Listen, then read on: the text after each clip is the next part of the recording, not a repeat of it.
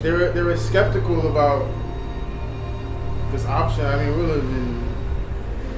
Yeah, it's okay. I do like it though. I like it a lot.